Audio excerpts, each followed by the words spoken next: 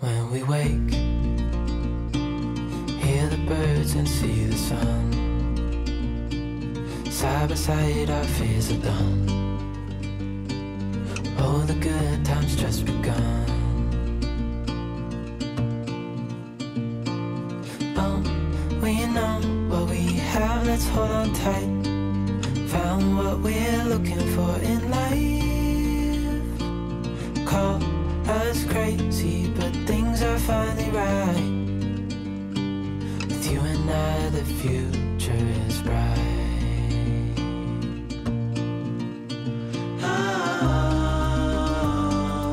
you and I, we got it. Oh, we don't need a Do online meetings make you sleepy, grumpy, cause headaches or nausea? You may be suffering from Zoom fatigue. The medicine you need is J Man Speaks. Let's go! This is Jeremiah J Man Maneiro with J Man Speak. J Man to the rescue! There's no sleeping in this Zoom. Edutainment, high energy. Yahoo! Wake up! Wake up! Your head's gonna explode. Ooh. Refreshingly authentic. Come with me if you want to live. Side effects will include extreme joy or euphoria, enhanced learning, increased energy and motivation, and feelings of invincibility.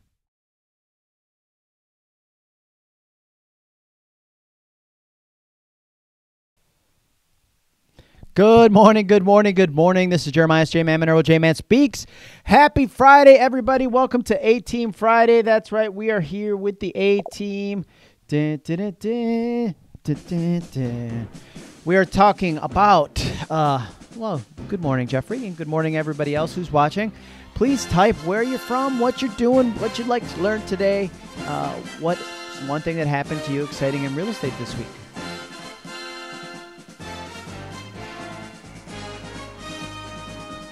And I'm back because I, I always so listen. Lighting when you start doing a lot of video, the little details really will bother you. So I got my lighting set up and all that.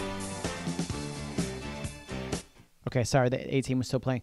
I got the my lighting set up just the way I want it, and then there's one fluorescent light that when I have it on above me, it throws everything off, and so that's why I hopped out and came back.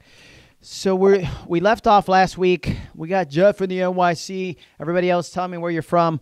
Uh, multiple offers. Did you win any this week? It seems like such a hot topic.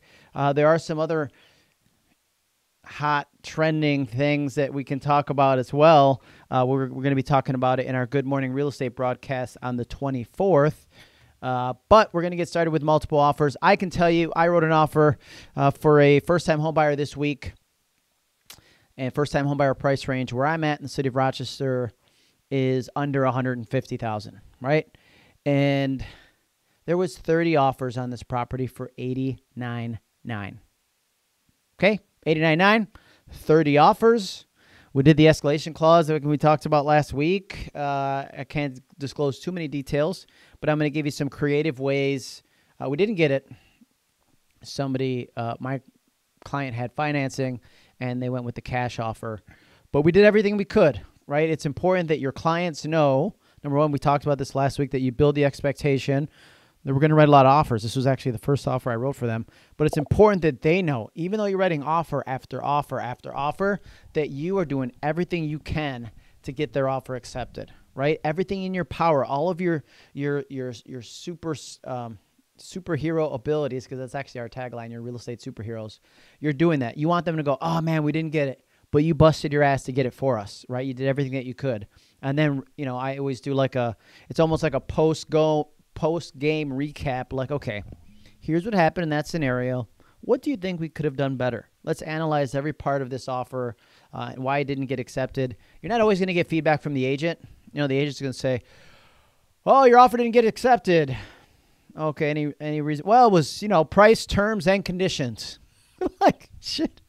Give me thank you, thanks. I I could have came up with that, but without feedback, it's hard. So it's just like okay, let's see where we can uh, sharpen our pencils, if you will. Latrice, welcome from Texas, sunny Texas, I would imagine. Hopefully, you guys are much warmer uh, than we are here in Rochester, New York. We're at a balmy 18 degrees, I think, today.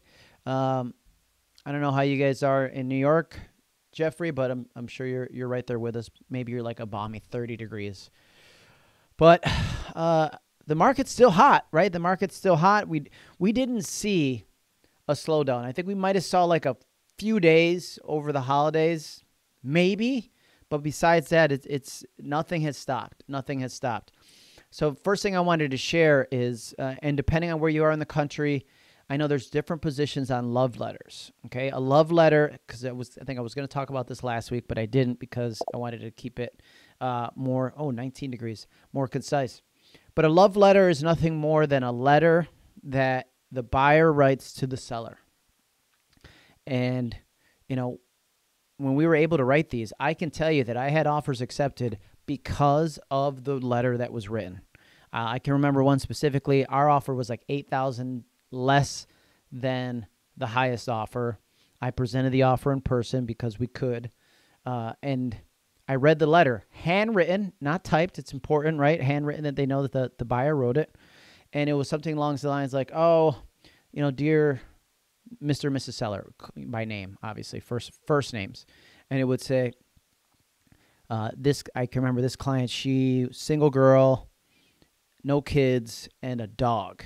Okay, she was like, "You know, Mr. and Mrs. Seller, I felt like, you know, Jeremiah has shown me dozens of homes, and I felt like I was being hugged when I walked through the front door." I could just picture my dog my Springer Spaniel Rex. I don't remember his name at this this time, but let's just call it Springer. I remember it was a Springer Spaniel Rex running through the backyard and just really staying there and making memories for years to come. You know, I'm I'm I'm a, a single girl. I'm doing this all on my own. I've saved for years to to come to this moment, and I just love your home, and I hope you can find it in your heart to take a little bit less than maybe some of the highest offers you're receiving. Uh, yours truly, Miss Buyer. Okay? So, of course, uh, and, and Jeffrey's comment Jeff, you have no heart. Okay, Jeff says, as a listing agent, I would never let the seller read the love letter, uh, and and so that's this is why we like we're talking to people from all over the country, and you still have it in New York. We don't do this anymore. We can't our, our state board, uh, our state real estate attorney has advised us that it's not a best practice for us in New York because it gives the sellers the opportunity to discriminate based on, n- on any number of protected classes, right? And, you know, not to say that they would, but let's say they didn't pick her because she was a single gal and they were looking for a family. That's familial status. That's discrimination based on familial status, right? Yeah, exactly, Jeff. Fair housing issue. However, uh, and you're if you're in other states and, and you guys are able to do that, do it. I mean, if that's what you talk to your broker, talk to the attorney. Um, yeah, California doesn't allow it either. But there's a lot of Midwest. There's a lot of. I think I was in when I was in Wyoming. They do it. Montana. They do it. Uh, you know, recently we were talking about it. So just do it in a way. Uh, and I'm going to show you that we can present our offers in person. So I was always thinking, like, how can I be a little bit more creative? Uh, how can I tell the story of the buyer? Because, you know, there's listing agents that want to make it, hey, it's dollars and cents. I don't care about your love for this house. It's dollars and cents, damn it. Don't you dare come in here with emotions. This is a transaction. Guess who doesn't think it's a transaction? The seller. This is their home that they lived in. Oh, Linda Cody, we strongly discourage it too. So that's uh, Massachusetts. Uh, Linda's from, and so well, I'm going to give you a way that's that's uh, not the love letter, okay? Um, but can tell the story of the buyer without discriminating. Uh, and, and, like I said, I, I teach the ABR designation course. We teach people that it is best practice to present your offer in person in a non COVID world. Uh, obviously, that's not going to happen today but you can do it virtually, right? You can do it virtually via Zoom if the agent, you know, if I was an agent and I had 30 offers, it'd be tough, right? But if I had five offers, seven offers, I might say, hey, Jeff, hey, Linda, you know, hey, um, Latrice, you guys are all writing offers on my property. Thank you so much. We greatly appreciate it. We decided the best thing to do was allow you to present your offers virtually. You're gonna go, what? Wait, wait. What do you mean? Okay, we're just gonna put. We're all. I'm gonna send you a Zoom link. Okay. At this time, the offers will be presented. Please have everything ready. If you want to send us, send me the PDF ahead of time, or if you want to present it through the chat, right? Uploading a document, which is possible as well, or share your screen and then email it when you're done presenting. And so, what I would say is, we're going to present at this time. Uh, you know, use the waiting room feature, right? So you can keep everybody in the waiting room, all the agents. You can still message people when they're in the waiting room. So I would say, all right, Jeffrey, Latrice, Linda, uh, thank you for showing up.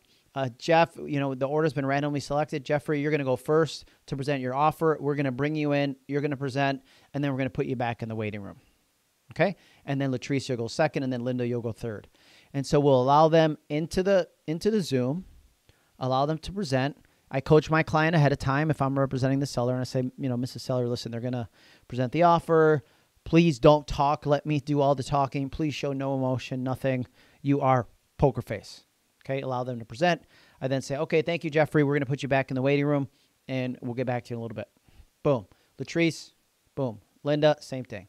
And then at the end, we have an acceptance, a counter, or not responding, which isn't an option really. But there, you know, you're showing transparency. You're showing that there are multiple offers. You get it done right then and there. And depending whether you're an attorney state or not, you know, for us, it still has to. Um, I know downstate in New York, you guys have to do like a, um, like a letter of intent or a a purchase offer. What do they call it? An offer to purchase, which then goes to the attorneys to create the binder. Uh, here in upstate New York, we actually write the contracts on board approved contracts. We kind of just fill in the blanks, and then it's still contingent on attorney approval. But if you're in a title state, you wrap that bad boy up. Typically, you're good to go from there. All right.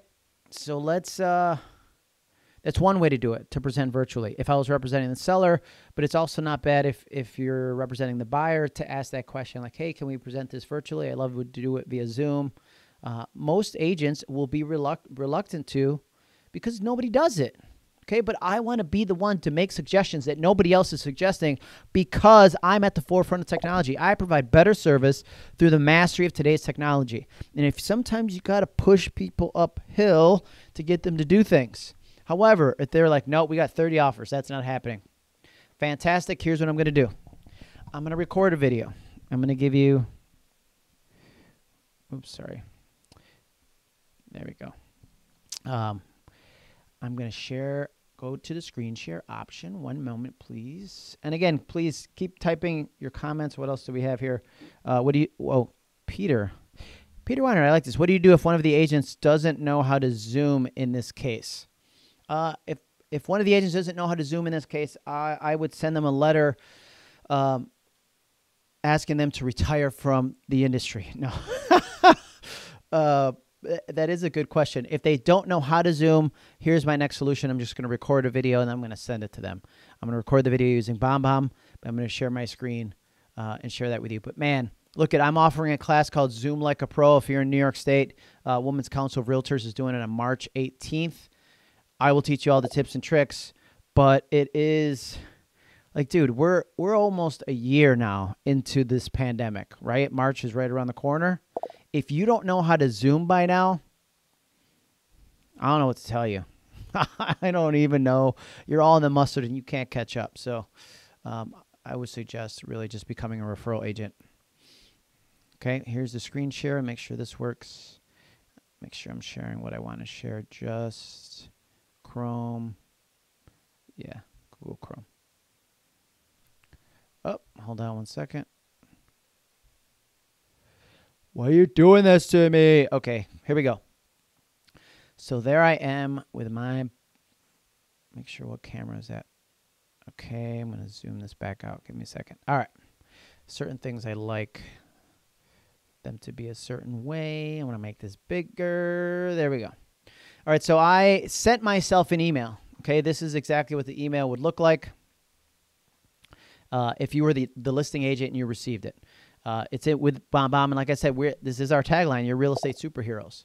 And I'll I'll go into the back end. Hey, Teresa, how are you? Um, come over here. I'll go into the back end of BombBomb first or second, but I want to show you what the email looks like when you receive it. So it's nice and clean, right? I don't put too many bells and whistles in here, but here you can see in the copy of the email, I do my best to tell the story of the buyer without saying anything that allows the seller to discriminate based on any of the, the protected classes. And let me try to zoom this a little more so that you could see it. Okay, is that a little better? Hopefully. All right, so the buyer's pre-approved conventional financing through the bank, through the no, and this uh, Bill Terwilliger, this guy, he's been in the business a while. People know his name in my market, and and the buyer has submitted docs and verified everything. I want the the selling agent to know that, right? It's not just ready and willing to purchase; it's the ability. If I don't have cash money to purchase the home, or the buyer doesn't have cash money, then I'm going to get them to the bank and make sure that they are pre-approved we like to call it pre-committed, right? Not in a bad way, like they're not crazy, but they've submitted everything, all the documents to the bank. That's been verified. All they have to do is identify a property, order the appraisal. Everything else is done, right? So we're really on top of our game. In this market, you're doing a disservice to the buyers if they are only pre-qualified, right? You go, oh, we're gonna write an offer. Oh, great. Pre-qualification is just toilet paper. Let's be honest. It means they they called, they made a call over the phone, they gave them how much money they make, they checked their credit, and they gave them a, a, a pre-qualification. It is garbage in this market. You got to make sure that you're doing what you have to do for your for your clients. Okay, I had to move that chair. So you can see uh, he wants to do an inspection for his own information, right? Can you do an inspection and not have it be a contingency in the contract? Absolutely. We've been doing it for years with REO properties, real estate owned by banks. You buy a HUD home, you could always do a, uh, um, an inspection. It was for your own benefit, okay? And if you're doing an inspection, you'd still do, depending on where you are in the country. If it's attorney state, you can do attorney approval. Uh, but I want the buyers to at least know, hey, I'm never I, I never want somebody to waive their inspection. This is a great way for them to at least get the inspection and not have it, not have it be a contingency in the contract. Uh, your other option is there's many companies uh, I'm hearing throughout the country, but also here in Rochester, we have an engineering firm that they will do a they call it a walkthrough inspection. It's not the full scope of a regular inspection, but they'll go through in a 30 minute showing with you. And these guys are engineers, they're PEs, and they will walk through the property and look at the you know they're not going to jump up on the roof but they'll look at the roof they'll look you know if the crawl spaces are are accessible. They look at the mechanics, they look at the basement, they look at all the things that might be a concern for the buyer so that they can feel confident in uh, writing an offer without an inspection. Right? There's no, it's not a guarantee or warranty after closing. We know that, but at least you're doing things above and beyond what other agents might do to protect your clients because in the end they're not going to remember like i wrote 18 offers they're going to remember that they found the home of their dreams and that my buyer's agent looked out for my best interests my clients will always know that. Okay. Uh, he will try to close as soon as possible. And, and, again, like if you have flexibility in your closing date, some people are putting their homes in the market and making it contingent on them finding suitable housing. So if your buyer's in a in a month to month rental situation where they're flexible, put that in there. You know, maybe the people, uh, the only thing that's really alleviating some of the pressure in the market these days is new construction, and new construction can take four to seven months depending on where you are in the country. So say, look at we can close. Um, for us, it's a standard's like 60, but I put in there, you know, we could possibly do it in 45 days, depending if the title and the survey survey work is done uh, by the seller's attorney on time, because that that's part of what can hold up the closing as well. Uh, he is gainfully employed at, and I put my client's employer. Okay, where they work is not a protected class. If my client was a fireman, policeman, uh, my, my this client actually works at the airport, right? I want to put him, you know, let them know like gainfully employed. He's in a position at this company that will not get furloughed, will not get fired, will not get laid off, because that's a concern. We're losing transactions to that, uh, you know, in different parts of the country. So every every piece of this is designed to help them feel more confident in my client. Okay, keep going. My client I loved, uh, my client and I have looked at dozens of homes, and this is the first one that he loved enough to call it home. Fact. This guy, you know, I have other clients that are like, this house has a roof, windows, let's write an offer. I don't care. We got to write another offer. This client, we looked at dozens of homes, and he's like, nah, that's not quite it. Nah, it's not quite it. And this one was like, this is it. Let's write an offer. Okay, does that mean something to the seller? Yes. Am I discussing anything about his familial status? even though this client may or may not be married with children. I didn't put that in there. Loves everything about it and can see himself living and making memories here for a long time. Uh, this per, uh, this seller lived there for 12 and a half years. So I think, you know, if it was an investor purchasing it for the same price, cash money, maybe they'd be more likely to want somebody who's going to live there, owner occupied. All right. Um, and then I look forward to meeting with you. I say the same thing, and I'll play this here. Hopefully, make sure this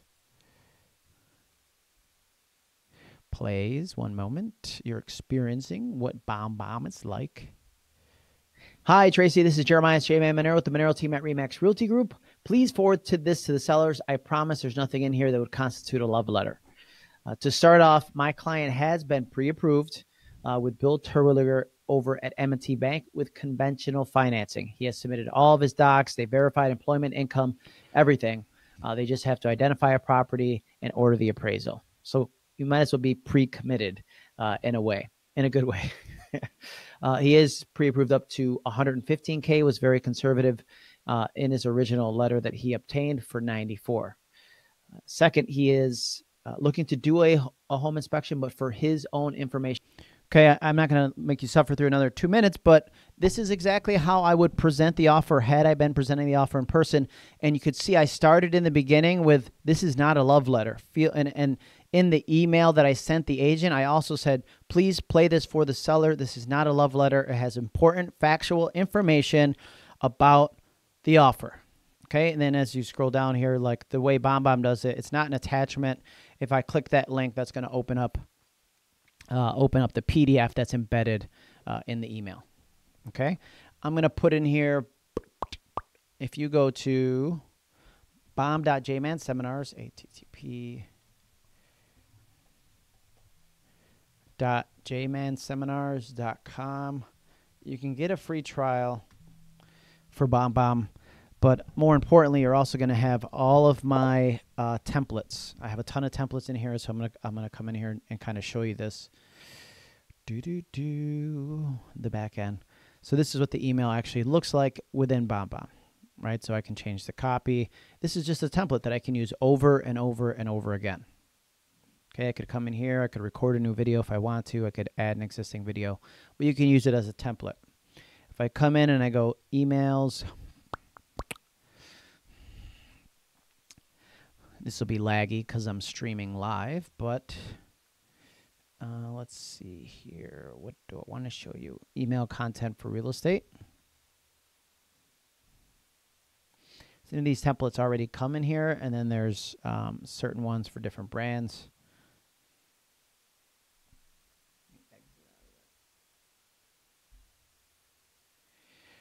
So laggy, baby. All right, let's do open house one. These are good ones. Okay, uh, thanks for stopping by. Open house, and neighbors only open house. Send to neighbors who you have met. Door knocking for open house follow up again if your state does not allow. Cold calling, I'm not telling you to door knock during a state of emergency. Uh, and then open house this weekend, promote your listing. So they have all these templates already built in. You just come in here and add a video to it. Now, if I went in and I'm going to go new email. Boom, ba boom, boom, boom. Change template. Boom, ba dum, boom, boom. And these are my templates that I already have. You know, seven ways to reduce stress for the buyer, five things about home insurance, uh, open house, congrats, pending process. I have all these templates already made so that we have a campaign of videos that are sent to the client the, whether it's a buyer client or a seller client, this is the best way to stay in front of them, stay top of mind, and let them know that you're still thinking about them, right? Because not that any of you would do this, but in my experience, in my life, there was times when we went into contract and it's like hurry up and wait, right? You're showing houses to these folks every day for weeks or months in some cases. And then they're in contract, you do your inspection, and then psh, you don't really see them. Uh, so th- I found with this, it's like, okay, we go into contract. Here, I'll use this as an example. This is my pending process uh, email. Okay, so it's a 24 second video here. Congrats on the acceptance of the offer. It gives them first step is to send them a check and money order, and then it tells them everything else that, that's going on in the transaction. Okay, what to expect during the transaction. Bring it back. So I got a ton of these. I got a ton of these. If you want more information, again, you could just you're on my page now. J Man speaks. I think if you do the, you should if you send the message keyword bomb bomb, send me the message bomb bomb. It should also auto reply with the free trial, uh, and uh, all of my all of my templates. Should, but give it a try. If not, I'll send it to you manually via Facebook Messenger. Okay. So that's creative ways to get your offers accepted, creative ways to write your offers, uh, you know, present them. Because again, it's doing things that other agents aren't doing to set yourself apart from the competition. My client works at the airport. You can bet your bottom dollar that he went to work on Monday and said, Hey, this is what my agent did. And everybody else at work was like, My agent didn't do that when I bought a house. They faxed it over to the other agent. I'm like, Oh, I don't have a fax machine. I'm they don't have them where I live. Where's that? 2021, homie. Okay, so let's go. Uh, last thing I want to show you. This was just a quick Photofy and NAR. I know some of the, and I, will figure out a way to give you a better hands-on tutorial next week uh, with with Photofy. But what you're going to want to do is go to signup.photofy.com slash NAR. If you can't see that at the top, let me see. Why can't you? Okay, I'm going to copy and paste this in the comments so you have it. This is part of your value added benefit of being a member. Bam Bam was the Flintstones?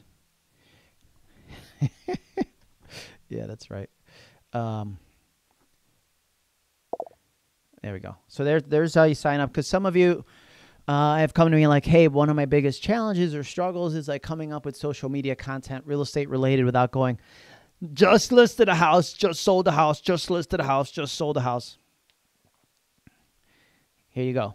Okay, you can come in here. You can come into uh, Photofy and NAR. There's a ton of templates in here. Let me see if I can. See, I was planning to share my screen, but the program that I use, Ecamm, doesn't really do it. So next week I might stream from Zoom, which will be easy. I'll stream from Zoom into Facebook, and I'll give you the quick demo. But uh, it'll be all right. Everything's gonna be all right now. All right.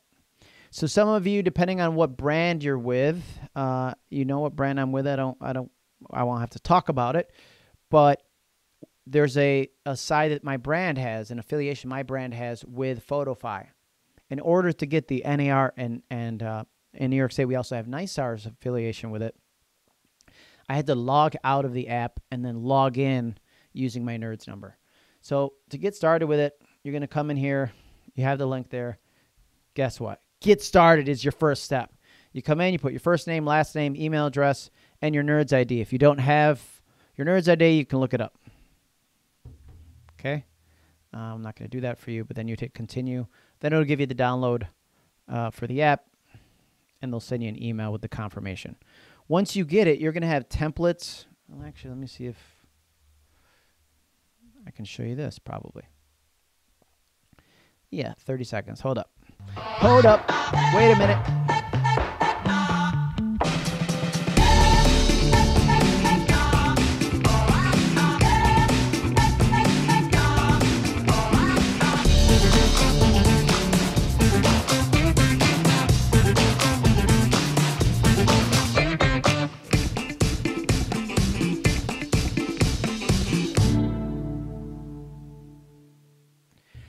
Oh, yeah. Show your realtor pride, baby. National Association of Realtors. So you have, uh, once you get into the app, I guess it would be better to show you next week. But you're going to have templates in there. Let's see. For New York State, we have art templates, which is really cool, and then you can have all the NAR uh, templates. But here's just here's a cool one. And I'll, I think I'll, I'll um, I'll I'll make a tutorial video as well and just put it in the comments of this. But if you could see that, probably not because of the light. That looked like shit. I can't show you. Okay, never mind. But go in, play with it. Look at look any of the things that I talk about. You're not gonna break it. You're not gonna break it. Just play with all the buttons. You know, repost is where you just repost uh, a template that they've created it's important. Like I like to take the templates, make sure you can customize it. Uh, you could probably you not probably you can customize it further by exporting it. Like save it to your phone and then export it into Canva or import it into Canva and then add any other uh, kind of cool stuff. Uh, Canva's an entirely different story, but I use Canva every single day. It's worth the upgrade to Canva Pro. I think it's ten bucks a month. Uh, you can remove backgrounds. They have you know royalty free images and everything like that. So that's all. That's all I really wanted to talk about. Let's see. We're going to give you guys round of applause. Give you a round of applause for tuning in. But since we still have some folks hanging on, do you have any other questions? Do you have any other questions? Again, it's A Team Friday. Ask the experts anything meaningful Friday. I'm going to go back over here. Um, what do you got for me? If you got any questions, this is a great time to ask the expert. Here, I'll do a drum roll for you.